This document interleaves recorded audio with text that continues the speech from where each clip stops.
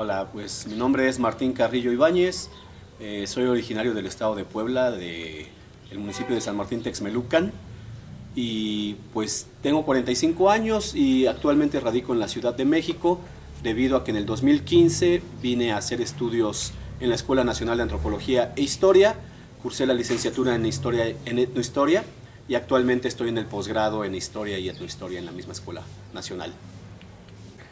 ¿Cuándo y cómo llegas a, interesarte en estos investigadores y en Chimalhuacán?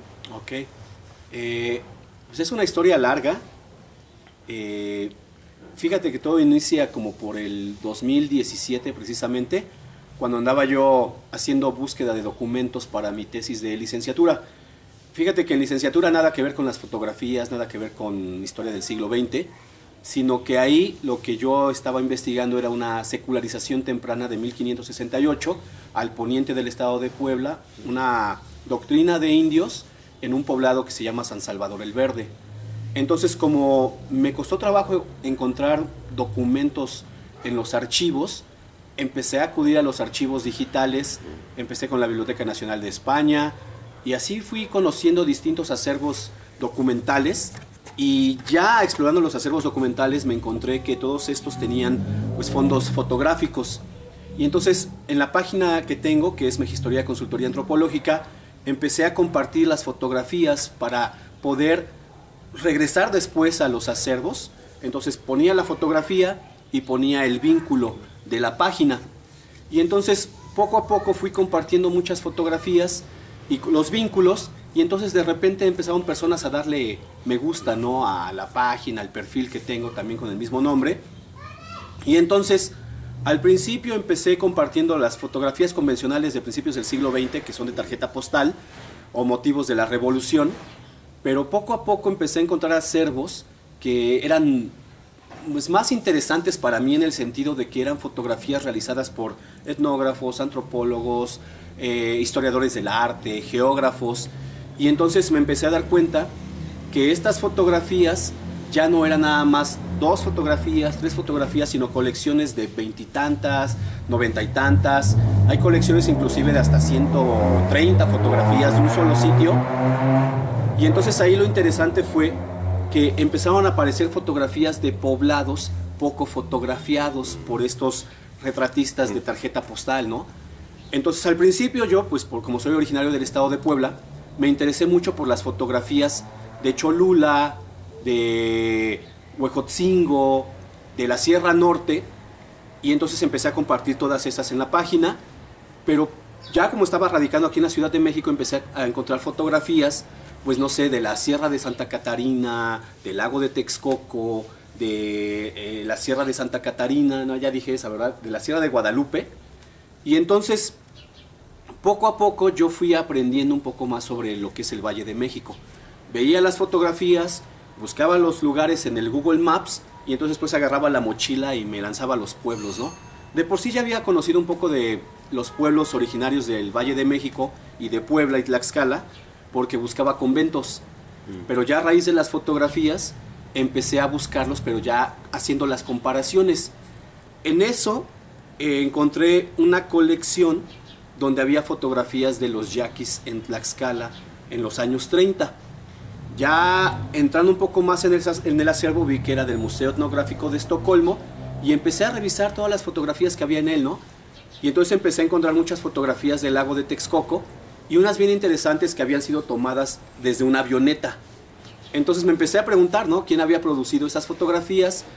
Y entonces ya me encuentro el nombre de Ula Apenes ahí, ¿no? Y fue toda una aventura eso porque a la par seguía yo compartiendo colecciones, no sé, de Robert Platt, de fotografías de la Magdalena Trickpack en el 28, de las de la Sierra de Santa Catarina del 37, de Horst Martin, que están en la fototeca alemana. Y entonces fui configurando todo esto, me encontré la colección de Bodil Christensen y después descubrí que Bodil Christensen tenía una relación muy estrecha con Ulla Apenes y que este a su vez se relacionó con otros exploradores escandinavos que vinieron en dos expediciones suecas del 32 y 34-35. Y entonces, al empezar a juntar todas estas fotografías del acervo del Museo Etnográfico de Estocolmo y del Museo Nacional de las Culturas del Mundo de Países Bajos, empiezo a encontrar, pues ahora sí que la relación, ¿no? y empieza a tener ya más sentido para mí, eh, empiezo ya a meter el nombre de Ula Apenes en los distintos acervos, empiezo a buscar distintas páginas ya buscando eh, en, sueco, en neerlandés, en, en, noruego, que es una de las técnicas que desarrollé para la búsqueda de estos acervos, ¿no? buscar a través de Google Translator distintas cosas con distintos criterios en las, en las lenguas de los países donde están estos acervos. Y entonces me encuentro la Biblioteca Nacional de Noruega, y, ahí hay un libro ¿no? que Ula Apenes escribió, pero que se publicó póstumamente ahí en la Universidad Nacional Autónoma de México. Entonces me encuentro este libro digitalizado ahí y después eh, me encuentro una tesis de, de, un chavo noruego que se llama, deja ver si me acuerdo bien del nombre, Lars Lervik Longas. Entonces él hace una tesis sobre las cartas que Ula Apenes escribe a su madre desde México y de hecho la tesis se llama Ula Apenes, la relación de un migrante noruego con México. Y entonces en esta tesis cuando yo la empiezo a traducir, empiezo a ver que él menciona un documental que se produjo en el 2012 por la televisora NRK. Y entonces digo, oye, ese documental estará en línea y empiezo otra vez la búsqueda. No te estoy hablando de que estas búsquedas son de horas, ¿eh? no es así de, ah, pues ya lo pongo acá y ya me apareció, ¿no? Entonces empecé a meter los criterios en noruego y en uno de esos me aparece, ¿no? Ula Apenes Americanisten. y, hasta, pues ya sabes, ¿no? Cómo es esto de encontrar cosas, hasta me brincó el corazón y dije, no inventes, ahí está el documental. Entro y entonces lo veo completo, estaba disponible, o sea, estaba hablado en noruego y subtitulado en noruego. Lo comparto en la página, lo llegan a conocer algunas personas de aquí de Chimalhuacán. Eh, Producciones García, un chico de acá de Chimalhuacán, lo logra copiar porque yo no pude. Es el chico que entrevistan. Ajá, no, él, es el que trabaja en Casa de Cultura. Víctor. Víctor. Entonces el que los baja es otra es persona. otra, persona que se dedica a la fotografía aquí en Chimalhuacán y él tiene una página en YouTube que se llama Producciones García. Él lo logra copiar, lo sube a YouTube y entonces se generan los subtítulos en español traduciendo los que están en noruego. Yo siempre agradezco en las charlas a Producciones García porque si no hubiera sido por él, ese documental no lo tendríamos. No lo tendríamos porque semanas después de que yo lo comparto, el canal lo bloquea. Porque eso, pasa en muchas, en muchas páginas de, de Europa. Son para consumo local. Entonces, cuando empiezan a detectar muchas IPs de otros países, pues bloquean las cosas, ¿no? Lamentablemente. Pero entonces, ya con todos estos datos que tengo de las tesis, que está el documental, veo el documental, eh, eh, eh, están las fotografías, y en el documental nos empieza a hablar también de las cartas, y nos dice que están en la Biblioteca Nacional de Noruega, ahí en Oslo. Entonces, yo ya regreso a la página de la Biblioteca Nacional y busco las cartas, a ver si están digitalizadas. Yo sorpresa, ¿no? O sea, no están todas las de Ula Apenes, pero sí están todas las que le escribió a su mamá y algunas que le escribe a su hermano. Y entonces, ya con todo este material acá, pues yo ya empiezo como que a entender un poquito más lo que estoy publicando en estas fotografías. O sea, he de aceptar que muchas de las primeras publicaciones que hice de las fotos tienen errores, ¿no? Yo postulaba inicialmente que las fotografías de Chimalhuacán pertenecían a la segunda expedición sueca que fue del 34-35. Cuando ya empiezo a leer todas estas cartas, me doy cuenta que las fotografías son posteriores. Y ya precisamente en estas, en estas cartas se menciona lo que hemos dicho en las pláticas, que las fotografías empiezan a ser tomadas a partir del 38. Entonces, fue esta la manera, o sea, así que fue un hallazgo, una búsqueda, un encontrar cosas y que todo coincidiera para que de repente supiéramos que existían estas fotos, que existía todo este material asociado a ULA Openness y que está disponible pues a través de internet, ¿no? Y entonces fue así que eh, yo empecé a conocer muchas personas acá de Chimalhuacán a través de las publicaciones de la página, ¿no? Y entonces fue así como pues ya terminamos pues coincidiendo para poder dar estas charlas. Pero eh, eso fue todavía en licenciatura, cuando estabas en licenciatura. Cuando empecé a encontrar los acervos fue en licenciatura todavía, yo terminé la licenciatura en el 2019.